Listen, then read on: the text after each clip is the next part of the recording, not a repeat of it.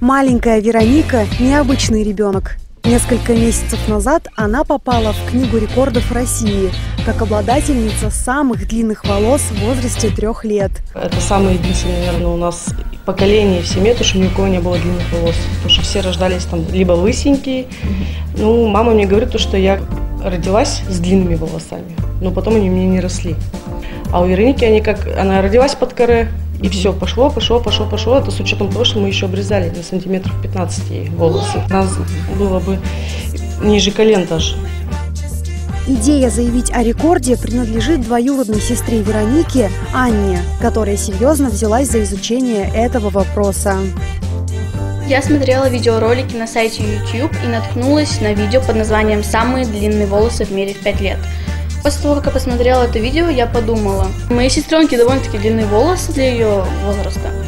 Я рассказала эту идею родителям Вероники. Она им понравилась, они поддержали, и вот уже через несколько дней мы начали воплощать ее в реальность. Предыдущее достижение было зафиксировано год назад. Тогда еще семья юной рекордсменки не знала о том, что заочно считаются победителями. Мы посмотрели, три года 54 сантиметра.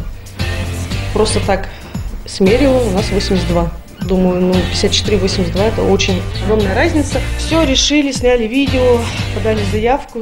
Вероника получает предложение от модельных агентств, но родители не делают на этом акцент и предоставляют выбор ей самой.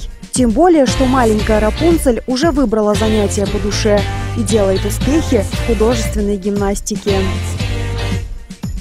Я спрашиваю ребенка, если у ребенка есть желание, соответственно, как бы я исполняю желание. Если она скажет нет, то значит нет. У меня нет такого, то, что я прям надо, еще что-то. Как бы нам хватает всего. Я думаю, то, что она уже вполне взрослая, принимает решение сама. А вот ты на гимнастику ходишь, какие вы там упражнения делаете? За скакалкой прыгаем. Скажи, пожалуйста, а на гимнастике трудно гимнастикой заниматься? Да. А что там трудного? Трудно прыгать на скакалке, трудно мешать. Так.